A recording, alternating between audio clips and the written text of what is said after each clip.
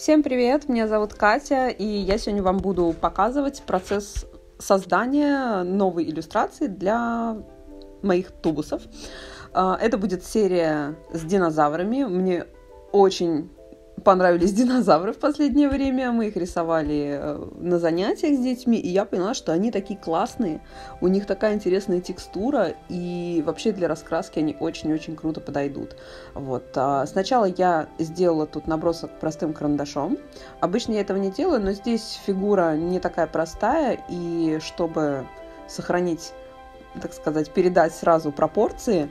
Динозавра, я вот использовала карандаш, где наметила основные линии, и дальше начала уже работать линером, но э, вот как показала практика, не знаю, мне кажется, на видео не сильно заметно, от линии самой я часто отходила. То есть, конечно, э, когда я делаю какие-то карандашные наброски, это еще не означает какой-то прям конечный контурный э, рисунок, вот, и уж тем более там его стирать. Нет, это как просто э, такая а, разметка, а, где какие области животного будут, чтобы вот реально не налажать с пропорциями. Вот. Рисуем тут вот зубы, всякие мелкие детали. Естественно, сначала я делаю контур, вот, и дальше уже заполняю объект нашего динозавра а, какими-то узорами. И когда я продумываю, ну, какой именно будет орнамент, какие будут линии, я всегда стараюсь смотреть на оригинальное изображение. В данном случае я посмотрела э, разные картинки с вот этим вот динозавром. Я, кстати, вообще не помню, как он называется, я уже запуталась в этих именах. Вот. Если напишите в комментариях, кто это, будет прикольно. Вот, я всегда опираюсь на оригинальное изображение, чтобы попробовать э, передать вот э, характер именно животного, потому что э, все объекты э, и животные, и различные там предметы, они все состоят не только из контура, из своей формы, но и из текстуры, из а, какого-то узора, который уже изначально есть на нем.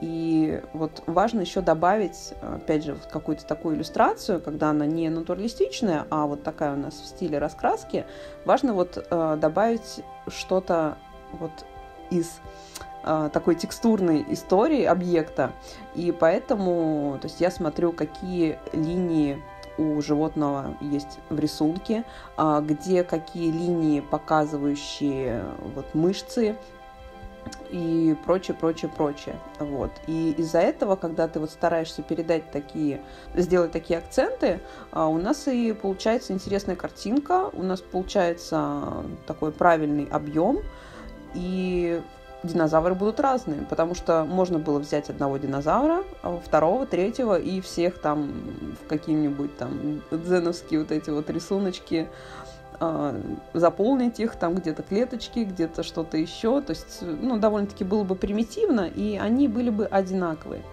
А тут я все-таки стараюсь обращать внимание на то, как у них идет вот эта вот их броня, чешуя, вот, где вот какие линии прям просятся, где нужно добавить линии, чтобы а, показать объем динозавра. В общем, все-все это учитывается, а не бездумно вот рисунок делать. И к тому же это действительно вдохновляет, потому что когда думаешь, господи, как же вообще нарисовать, какой узорчик сделать, а, просто внимательнее смотрим на натуру. Даже когда вы стилизуете, вы можете все очень круто продумать динозавр у меня стоит а, на земле, и я сделала такие камни, вот, а, чтобы тоже как-то разнообразить еще фон. Вот, будет у меня в серии а, и без фона, просто динозаврики, такие в воздухе висящие, а некоторые я вот делаю как раз с фоном. Мне очень нравится и такая история, и такая. Вот, к тому же всегда можно взять и нарисовать фон самим. Вот. Этот динозавр мне очень понравился. Мне кажется, характер его передан, что он такой э, хищный. Хотя, опять же, может быть, он и не хищник, я не помню.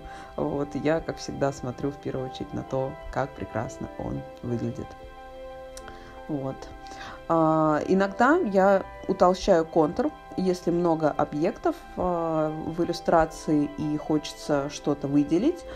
А, вот в данном случае я просто обвожу по контуру динозавра, и где-то я продолжаю чуть вот эту вот более толстую линию, например, когда обвожу ноги, чтобы она так плавненько потом сходила на нет, и чтобы в самой иллюстрации, когда ее раскрасишь, а, тоже оставалось такое вот различие по основным объектам, потому что здесь мы четко можем выделить само туловище, а, гребень и ноги. Вот, поэтому вот, стараюсь так тоже разделять, чтобы и видно было еще вот это вот ноги, передняя нога и задняя нога, что у нас ближе, что дальше, вот, чтобы все по плану. Также в конце я буду сканировать работу обязательно, обрабатывать контур непосредственно в фотошопе. Вот. И с этим динозавром я это уже сделала. Он получился очень-очень классный. Вот. Э, и вот я прям уже, если честно, с нетерпением таким жду, когда буду тестовую печать делать, чтобы посмотреть, как там что получилось, где еще, может быть, надо что-то подправить. И, конечно, будем их раскрашивать с Дашен. А вообще, обычно я сейчас серию динозавров рисую не дома. Это я села вот специально на камеру порисовать. Вот. А так сижу, э, рисую на танцах с Дашен, когда он там танцует, я жду, и вот за 45 минут а, у меня получается сделать одного динозавра. Вот. Как и здесь видео, где-то заняло минут, наверное, 35. Вот он у нас такой динозаврик отличненький и получился. Уже в серии у меня 7 нарисовано, и надо будет еще искать новых динозавров, потому что они некоторые так похожи между собой, отличаются там вообще какими-то мелочами. Я понимаю, что ну, в серию их как-то запихивать не очень круто, вот, потому что они действительно будут выглядеть практически одинаковыми.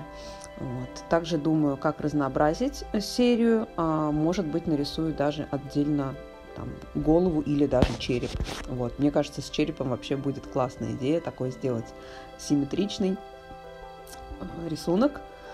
И вот будем раскрашивать. Такой вот динозаврик, очень-очень классный. И спасибо, что посмотрели.